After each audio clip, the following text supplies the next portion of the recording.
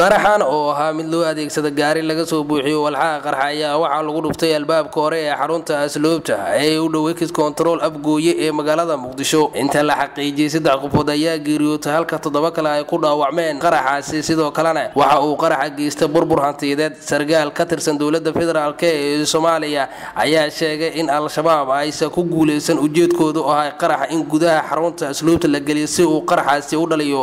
Khasaare badan waa siduu hadalku u dhigay sargaal u hadlay dowladda federaalk ee soomaaliya. Laamaha ammaanka ee dowladda federaalk ee soomaaliya weli si rasmiya uma shaacin khasaaraha dhimashada iyo dhaawaca ee ka dhashay qaraxaasi lagu weeraray xarunta ciidamada asluubta inta badan gudaha magaalada muqdisho ee caasimada soomaaliya ayaa waxaa ka dhacay qaraxyada ceenkan oo kale ah iyagoona geystay khasaarooyin kala duwan. Deeq macnijino jakay sab t v muqdisho.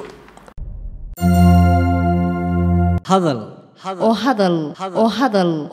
oo ku hadal. Bishii oo dhan. Toddoba dollar. Oo keliya.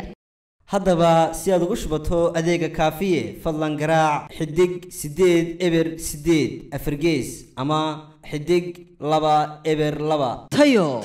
Waa telesom